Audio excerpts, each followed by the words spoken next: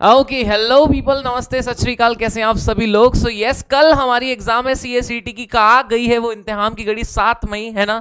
दिल में थोड़ी सी धक धक बेचैनी सी होगी। सो so, लेकिन चिंता करने की बिल्कुल बात नहीं है एग्ज़ाम आपका बहुत अच्छा जाने वाला है बहुत अच्छा जाने वाला है। ठीक है पेपर हमने ही सेट किया हुआ है सो so बिल्कुल टेंशन लेने वाली बात नहीं है। एग्ज़ाम मस्त जाएगा आपका जो हमने पढ़ा है वही आएगा। थोड़े बहुत क्वेश्चन एक दो होंगे जो बेसिक्स होंगे आपको बन जाएँगे ये पक्की बात है।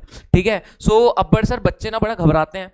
और ये बहुत होता है कि एग्ज़ाम के पहले धक धक होती है एग्ज़ाम के पहले टेंशन होती है और जब एग्ज़ाम बस लैपटॉप खुल रहा होता है और मतलब कि जब क्लिक करना होता है तब भी हड़बड़ा जाते हैं। सो so, क्या सर टिप्स रहेगी कुछ बच्चों के लिए जिससे उनका पेपर बहुत अच्छा जाए?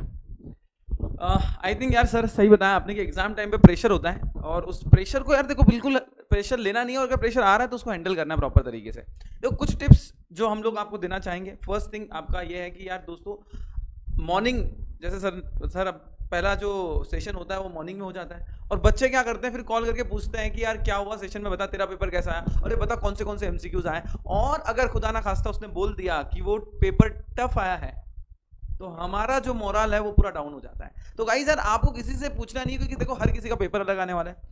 जो भी स्लॉट में एग्ज़ाम होने वाली है, उनके पेपर भी डिफर होते हैं। तो आपको किसी से पूछ के कोई मतलब नहीं बनेगा। उससे आप हो सकता है और और आप डिमोटिवेट हो जाओ। तो वो बिल्कुल भी नहीं करना है। दूसरी चीज़, सर, जब आप एग्ज़ाम दे रहे हो तो आसपास की आवाज़ें बिल्कुल नहीं आनी चाहिए। मतलब अगर आप लेट से की खिड़की खुली है, रोड की आवाज़ आ रही है, पाँव पू, पी, पू तो बिल्कुल भी आवाज़ नहीं करनी है। आपको सब चीज़ों का ध्यान रखना है कि आपका वाटर बॉटल आपके पास हो। जो भी चीज़ें आपको करनी है, वो पहले कंप्लीट कर लो, ताकि एग्ज़ाम में कोई डिस्टर्बेंस नहीं रहे। एकदम कॉन्फिडेंस के साथ साथ जाओ बेटा। बिल्कुल भी आपको टेंशन लेने की ज़रूरत नहीं है। जितना पढ़ा है, उसी के साथ आगे बढ़ो। कुछ नया करने की कोशिश मत करो कि ये पढ़ लिया, वो पढ़ लिया। जितना हमने पढ़ा है, उतना परफेक्टली करके जाओ। सेकेंड थिंग एग्ज़ाम पूरा लिखना है सर नेगेटिव मार्किंग तो है नहीं।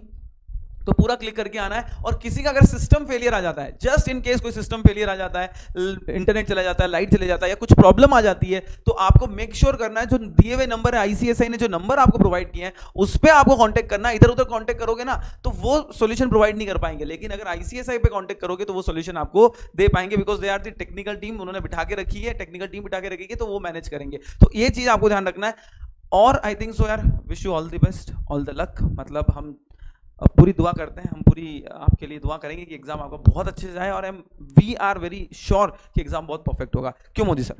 एकदम करेक्ट है यार एकदम करेक्ट है। बहुत अच्छा एग्ज़ाम जाएगा। विश यू वेरी बेस्ट दोस्तों है ना? Wish you all the luck है ना? जी पूरे दुनिया जहान का लक आपके साथ हो। और बस थोड़ा सा ध्यान देना टेक्निकल्स का थोड़ा ध्यान देना है ना? चीटिंग नहीं करना है ना? और क्योंकि एग्ज़ाम कई बार कैंसिल होते हैं।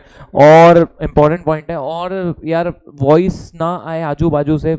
श्योर ना हो, वो भी मेक श्योर करना, है ना जी? एंड बस ख्याल रखो अपना, है ना जी? और अच्छे से तैयार रहो, कोई चिंता वाली बात नहीं है, डरने की बात नहीं है रिलैक्स हो जाओ इजी आएगा पेपर है ना जी? एक हाथ दो क्वेश्चन कुछ इधर उधर रहे तो उसको लेके घबराना नहीं है। बाकी के क्वेश्चन आपके साथ वाले हैं, आपके पड़े हुए हैं, आपको बन जाएँगे सारे।